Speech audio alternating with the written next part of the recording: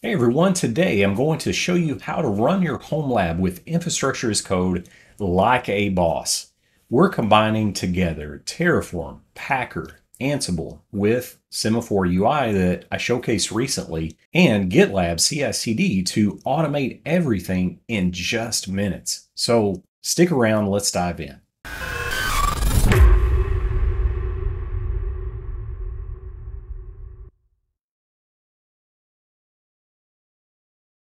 Now, why does infrastructure as code really matter, especially in the home lab? Well, many reasons. Let's talk about those in more detail. First of all, you get more consistency. No more oops moments from clicking around in GUIs and clicking the wrong thing or hitting the wrong key. Code guarantees every build matches your last. Second, you get version control. You can store everything in Git, branch experiments, roll back mistakes, and collaborate safely. Number three is the pets versus cattle scenario. For years in legacy traditional infrastructure organizations, servers were treated as pets. In other words, you did not want to mishandle a single server. You handled those with kid gloves and you made sure that updates were applied, all of those things were done just so. However, with infrastructure as code, you can treat servers as disposable cattle, break things, rebuild things in minutes, and learn faster and get away from babying your servers as those pets.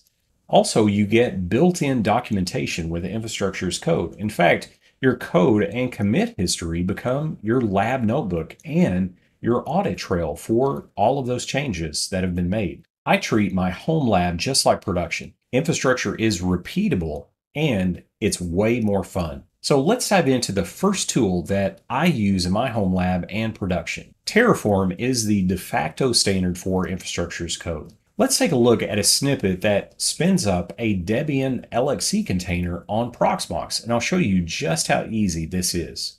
Okay, so I want to show you guys the beauty of using Terraform in your home lab for infrastructure as code and provisioning infrastructure programmatically in a way that's repeatable, it's easy, and it's just cool. So the first thing that we want to do with our Proxmox environment is navigate to Data Center. We're going to go to Permissions, API Tokens. And as you can see here, I've got an API token that has been created and it's assigned to this user. So I just simply added the Terraform user and then I went to API tokens and I'll just step through like I'm doing this fresh and you just select your user. I select Terraform and you can call this anything on the token ID. So we can just say Terraform 1 and you want to uncheck the privilege separation. So you just uncheck privilege separation and click add. So I'm not going to do that since I already have the Terraform user. However, I can just double click in and show you what that looks like.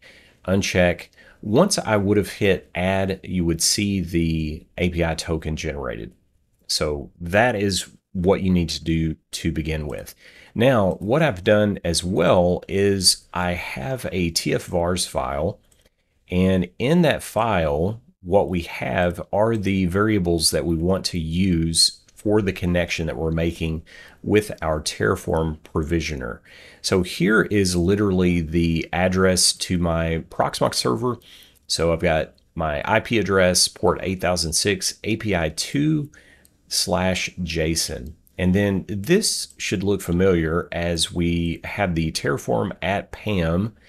And then the only difference is we put the exclamation point and then Terraform and combining that with that Proxmox token. Now here is literally the Proxmox token that I was given. The node name is the name of our Proxmox server, so that's where that comes from. And then LXC password is the password that we want to use for the LXC containers that we are provisioning. Then what we have to do is simply do our Terraform workflow. I have my code in this particular folder. So the first thing I want to do is a Terraform init. Now I had already ran this before the video, so it didn't have to pull anything down, but you can see the output is basically the same. Terraform init, It's making sure we've got the Telmate Proxmox Provisioner installed, version 2.9.14 at the time of this video. And now what we need to do is just run a Terraform plan. Now a plan validates your Terraform code. It basically shows you a what if, if you're familiar with that flag like in PowerShell or another scripting language, it shows you what is going to happen. And I like that Terraform is very visual. You can see the green pluses. That means that we're adding these objects or these things into our Proxmox environment. So it looks like a lot. However, one thing I am doing that I'll show you that's really cool in the TF file, I've got a variable here that I could actually move over to TF-vars just to make it cleaner. However, I've got it in the, the variables.tf file and it's LXC count. And as you can see here, I've got number. Well, this allows me to quickly spin up any number of LXC containers. So if I want to change that from 5 to 10, I'm going to save this file and let's rerun. As you can see here, it says plan 5 to add, 0 to change, 0 to destroy. Well, let's run the Terraform plan again. And this matches what I just put in the variables file. So let's do this. Let's actually run a Terraform apply now. And of course, it looks just like the plan, except it says type in yes if you actually want to do this. So I'm going to type yes. And now we can see that it's creating. Let's flip back to the uh, Proxmox VE server.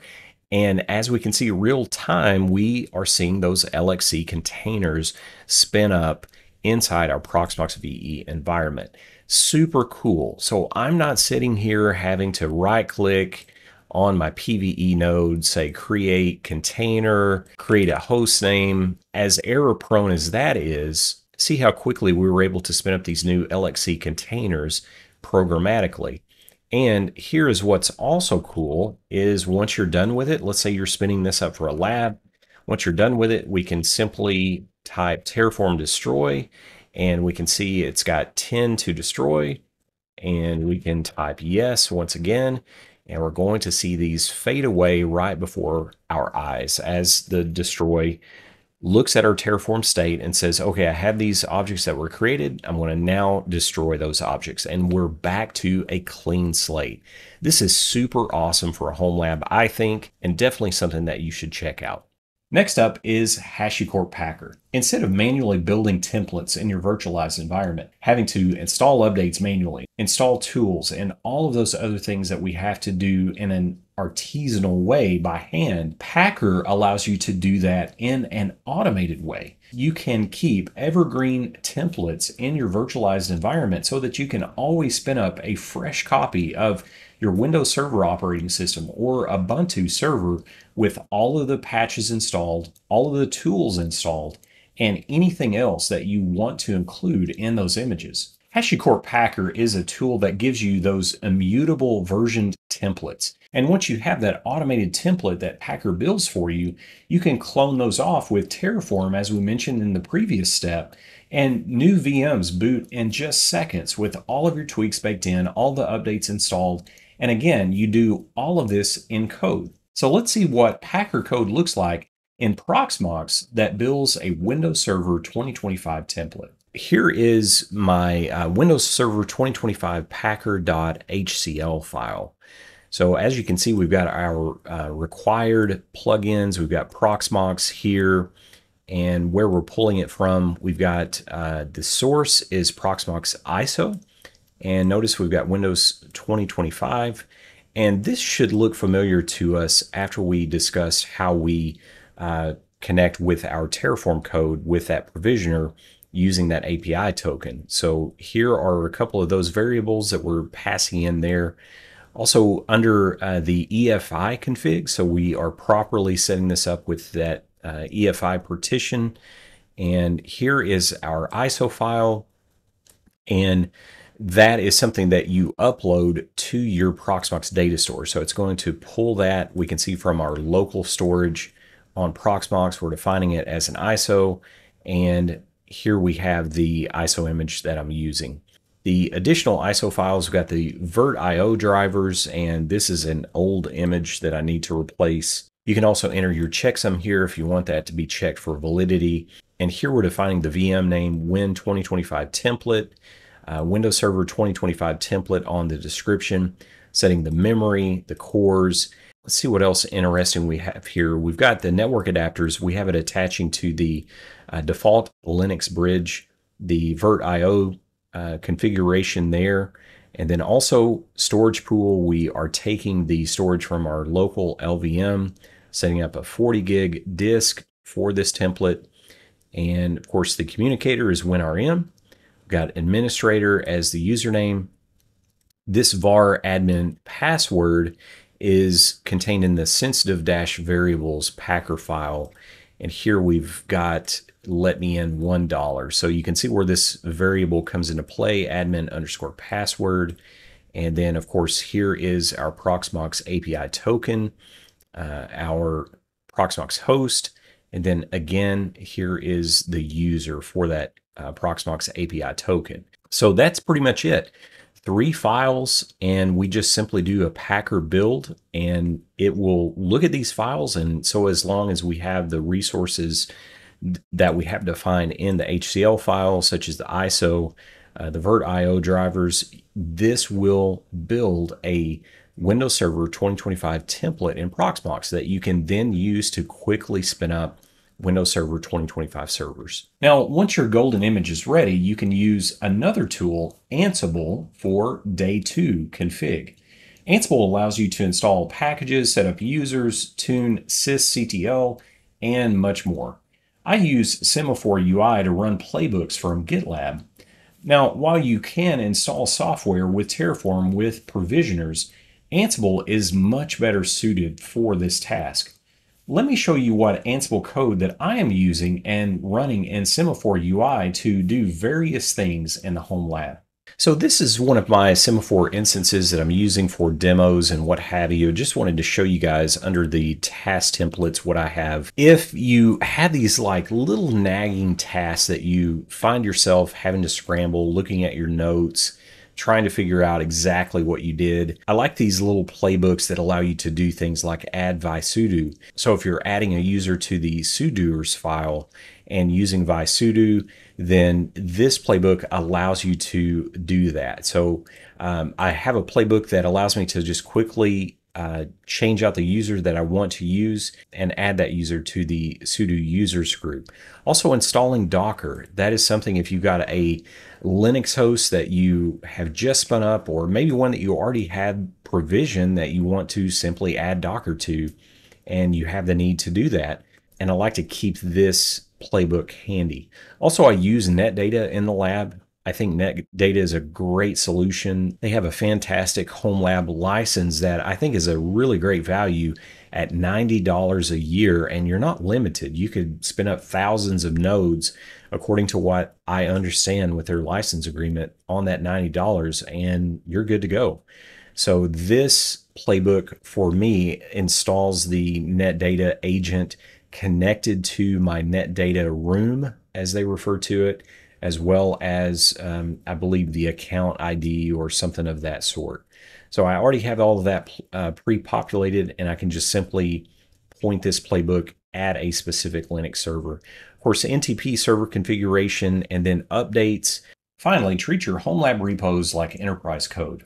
I'm using GitLab CI/CD in my home lab, and I want to show you my GitLab pipeline file that validates my code. It produces reviewable artifacts. It builds images. It scans those images and it even deploys the configuration end to end automated with a single merge. So if I update the Git repo, all of those steps are performed automatically. Let's see how you can do that. So the final piece for me in the infrastructure is code workflow in my home lab is GitLab and GitLab CI/CD. And a recent project that I'm really proud of how it turned out is my ArpWatch project that I'm building a custom ArpWatch container for the home lab. And I take it through these various stages of the build, including building the container image, linting the code, testing the code, scanning for vulnerabilities and other security issues using Trivy, we push that container image to our container registry, which is also housed in GitLab, my local instance. And then we're also deploying that. So with a single commit, with this pipeline file that I have set up, so if I'm on my dev branch of code, if I go through and I'm working on an enhancement, it will take this container image build all the way through these various stages so that if we are pushing to dev or prod for that matter, um, if we push that to dev, it gets tagged appropriately and then it gets deployed to dev or deployed to prod. And what I actually have here is the credentials in an environment variable in my pipeline stored in GitLab CI/CD. It connects to my Docker host and it actually runs my uh, Docker Compose code. So it actually connects, reaches out, runs the Docker Compose. You can see here dash F, and we're actually just passing in this Docker dash Compose dash dev uh, dash D, and then we're Docker image prune. We're pruning off those old images that we no longer have use for. So each time this runs, we pull the latest image, we spin it up on the host, and then the host gets cleaned up from those old images. Well, what do you think? Running your home lab with infrastructure as code isn't just for IT pros. It's really a game changer for your learning and productivity in the lab. Pick a tool, Terraform, Packer, or Ansible, and turn one manual task into code in your home lab. And I guarantee you, once you do that with that project based learning that I'm a huge advocate for, you're going to be hooked. If you like this video, hit like, subscribe, and ring the bell for more home lab automation ideas. If you have questions, drop them in the comments below and check out the blog post linked in the description for code samples and deeper dives.